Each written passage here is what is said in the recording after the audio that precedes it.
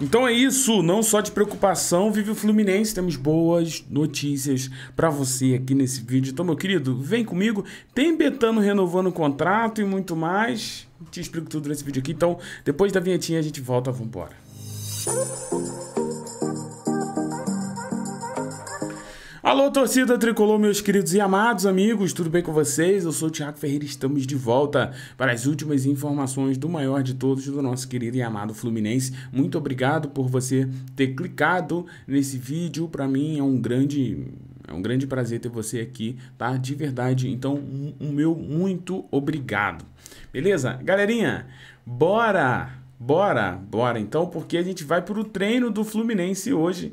Fluminense aí que já está pensando no jogo contra a LDU no Maracanã e não poderia ser diferente, né, pessoal? Então tá aqui, ó, treino do Fluminense já treinando porque quinta-feira tem decisão. Primeira foto aqui com o nosso querido Lele, né? Alexander também. Deixa aqui só eu resolvi um negocinho aqui rapidinho.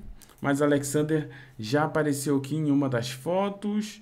Deixa eu continuar aqui, ó. A gente vai continuar com ele, Marquinhos. Marquinhos aqui. Lembrando que, como a próxima partida do Fluminense é a Recopa, o Flusão já está treinando com essa bola aí, tá? Que é a bola Comebol 2024. Essa bola que está sendo utilizado já na Libertadores, lembrando que já tem pré-Libertadores rolando aí, belezinha? Então a gente tem aqui o treino do Fluminense, né? Fluminense treinando aqui, Gustavo Alves aparecendo. A gente também tem aqui nosso querido Felipe Melo, que ficou fora do jogo de ontem, então ele já está treinando aqui, junto com o Isaac também. Né? Muita gente tem perguntado por que, que o Isaac está ganhando poucas oportunidades.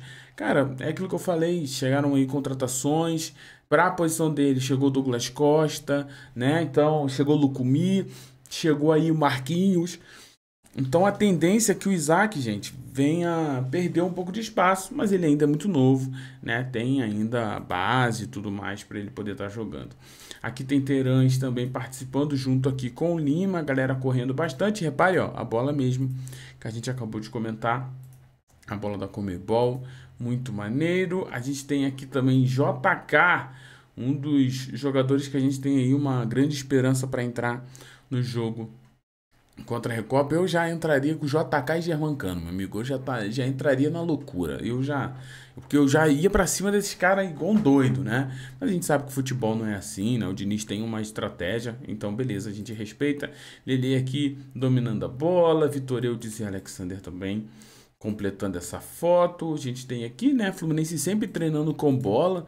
Dificilmente a gente vê o Fluminense sem treinar com bola, até porque o Flu é um time que gosta sempre de ficar com ela, então é sempre bom treinar com a bola aí. Nosso querido Paulo Henrique Ganso, que ficou de fora do clássico e na minha opinião fez uma falta inacreditável. Igual assim, a falta do Ganso, ai meu Deus, eu cliquei errado aqui, mas a falta do Ganso, pessoal, no clássico para mim é igual quando o Ganso não tá jogando muito bem né? O Fluminense perde muito com a ausência do Ganso, gente. Perde demais. Então, assim, foi bom dar uma descansada no Ganso, deixa o Ganso aí tranquilo para na Recopa ele jogar demais e, no, e nos ajudar. É aquilo que eu falo para vocês, para esse estilo do Fernando Diniz, ter um Paulo Henrique Ganso é o ideal, né? O ideal, ele é sensacional. A gente tem aqui também nosso querido Antônio Carlos jogando aí, teve a chance de jogar o clássico, né? Coitado, quando ele entra,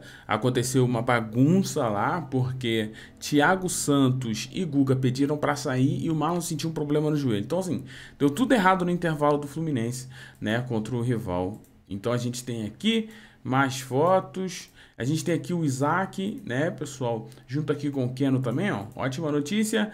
Keno treinando tranquilamente. A gente já tinha. A gente já tá falando isso, né? Que o Keno agora está recuperado.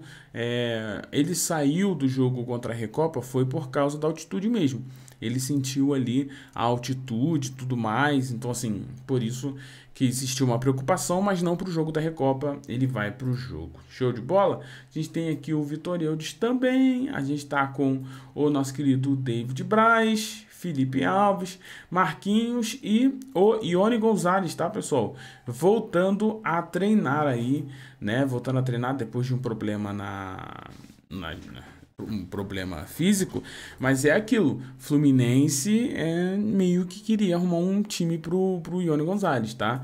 Não sei se até agora não apareceu um, um realmente um, joga, um, um, clube muito interessado nele, mas a tendência é que ele saia, tanto ele como David Braz, né? Mas é aquilo, para eles saírem, precisa precisa aí aparecer é, interessados, porque ambos têm contrato com o Fluminense, então não dá para descartar o, o, jogador assim, tá, pessoal? E ó, vamos para boa notícia desse vídeo? Bom, a boa notícia, meu amigo, é essa daqui. Olha quem apareceu no treino hoje, galera. Samuel Xavier, tá? Samuel Xavier com a sua toquinha ali. Para quem não sabe, ele tá com essa toquinha aí porque ele fez aí um transplante capilar. Eu não sei se esse necessariamente é o nome do processo que ele fez. Então, ele tá aí agora aparecendo, treinando. Vamos ver se ele vai para o jogo ou não. A gente sabe que isto daqui é algo que prejudica muito o Fluminense no sentido de perder Samuel Xavier, porque ele precisa ficar de repouso por causa de todo esse procedimento. Mas de qualquer forma, Samuel Xavier voltando aí a tempo hábil para jogar, né? Por que, que eu falo isso? Porque nós estamos falando, galera, de uma segunda-feira. O jogo é apenas na quinta-feira. Então você tem é, o treino de segunda, né? Que é esse que a gente está vendo, tem o treino de terça e o treino de quarta. Dá para pensar no Samuel Xavier, realmente, se ele não tiver nenhum problema capilar aí, né, pessoal? Mas de qualquer forma, vamos aguardar para ver se o Samuel vem para o jogo mesmo. A gente também tem aqui o nosso querido Manuel, né? A gente continua vendo aqui imagens do nosso querido Samuel Xavier Cauã Elias, galera aqui treinando. Pode ver que a galera que está treinando aqui, pessoal, é quem não foi titular no jogo, né? Quem começou no banco de reserva e quem não jogou. Né? Então esse foi o treino aí de hoje. Tem o Han Lukumi aí, ó, aparecendo o Han Lukumi. Até agora não fez a sua estreia com a camisa do Fluminense. E olha quem apareceu aqui também, ó.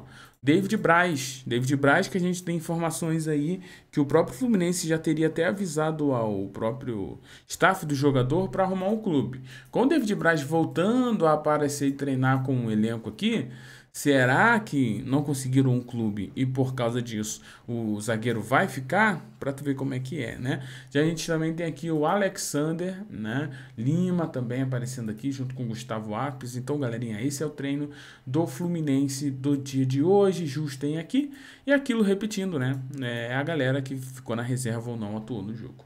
A gente tem aqui Manuel, né, que ainda não voltou a atuar, mas já voltou a ser relacionado e tudo mais. Isso é muito bom, né? Terães aqui também.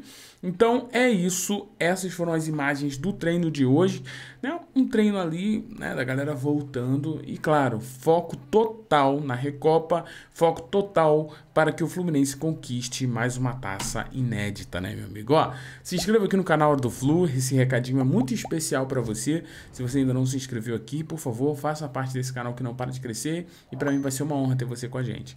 Ative o sininho tricolor também para todas as notificações. E claro, meus amigos, se você puder clicar nesse tricolike, vai nos ajudar muito. Então, clique nesse tricolike aí para impulsionar esse vídeo, para que esse vídeo venha a ser recomendado para outros usuários do YouTube e torcedores do Fluminense também. Então, é uma forma que você tem de ajudar o seu amigo. Não esquece, cara. A gente trabalha pra caramba aqui, não é fácil, mas vale a pena, né? Porque a gente sempre tem você aqui com a gente. Então, ajude a gente a impulsionar o nosso canal Hora do Flu. Quem sabe pra gente alcançar aí 80 mil, 90 mil e depois os 100 mil inscritos, né, galera? Que é um grande sonho que eu particularmente tenho. Então, se você quiser ajudar um tricolor a realizar um sonho, se inscreva e se já se inscreveu, clique nesse tricolor like aí, tá? Vamos lá, porque a gente tem que falar da Betana aqui, diretor. A Betana, hein? Já falamos de boa notícia.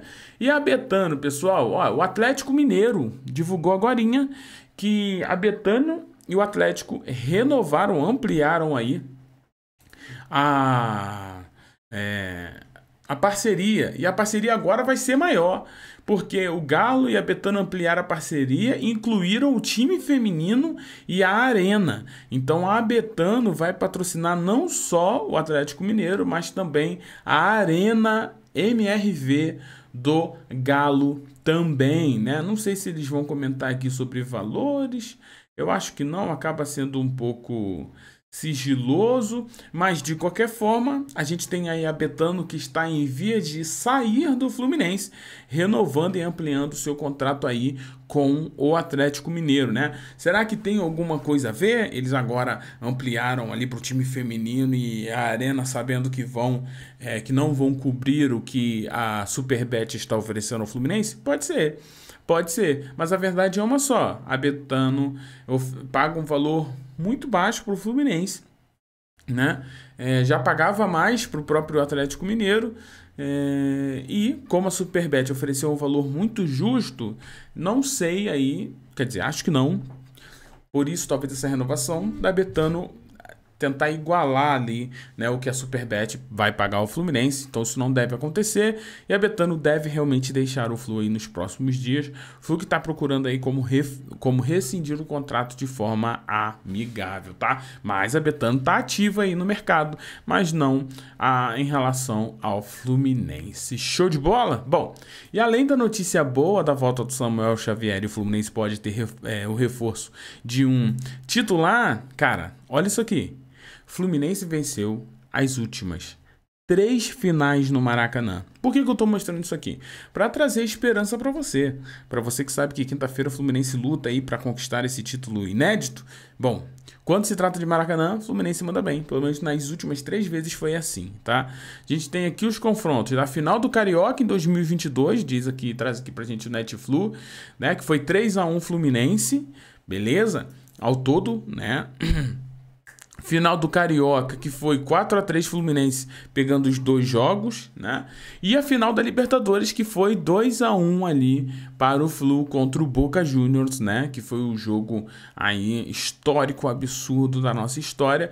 Então, sim, gente, Fluminense quando decide no Maracanã vem ganhando, vem conquistando os títulos. Então, que quinta-feira seja mais uma vez assim e o Fluminense conquiste a Recopa. Pelo menos é isso que a gente. Cara, eu tô muito ansioso. Vou te falar, eu tô muito ansioso. Quero ganhar essa Recopa e ficar tranquilão, sabe? Já ficar tranquilo e pensar nas semifinais aí do Carioca, mas. Vamos ganhar essa Recopa, gente. Vamos lá. Bom, as informações que a gente tem na forma é, nos bastidores é que o Fluminense está muito focado, os jogadores estão focados demais em conquistar essa taça. De verdade, está todo mundo se dedicando o máximo, né? E a gente deve ver isso, né? Uma grande atuação do Fluminense contra a LDU, porque precisa reverter um placar aí de 1 a 0, né? O Fluminense precisa ganhar aí de um gol de diferença. Então, que isso aconteça na quinta-feira. Show de bola? Tô indo nessa, muito obrigado pela presença de todos vocês. Não esqueça, se inscreva aqui no canal Hora do Flu, deixe o seu like também, ative o sininho tricolor para todas as notificações. Eu agradeço a sua presença aqui. Muito obrigado, tricolor. Fiquem todos bem e tchau. Valeu, pessoal.